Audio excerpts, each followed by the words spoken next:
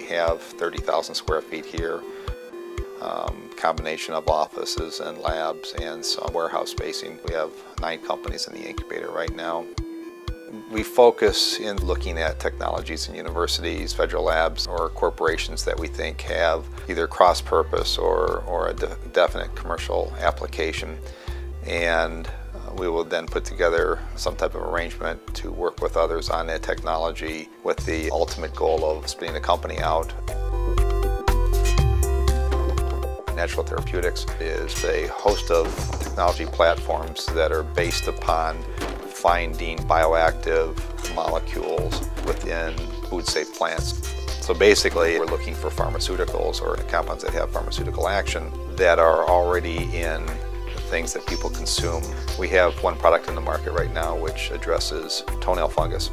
And we have additional materials that are going into human clinical trials here this year that will address obesity, diabetes, cholesterol reduction, Alzheimer's, various forms of cancer, a pretty robust portfolio of compounds.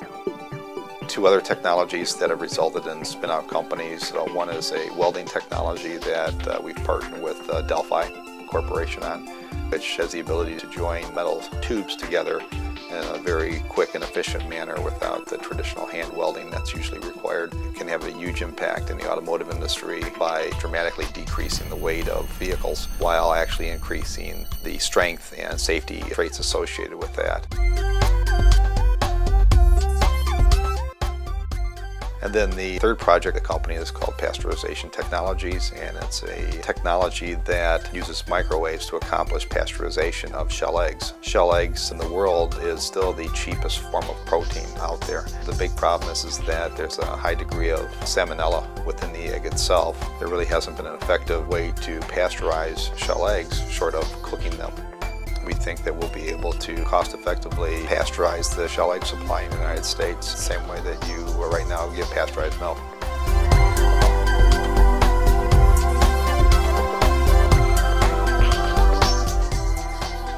Ann Arbor is a tremendous town. It just made a lot of sense put up a facility here to help in a small way to help the region develop further economically and technologically. I've worked with numerous organizations in town here. There's just a, a wonderful network of people and, and, companies and a broad diversity of technologies that are going on here. And that's not just within the university, that's outside of the university as well.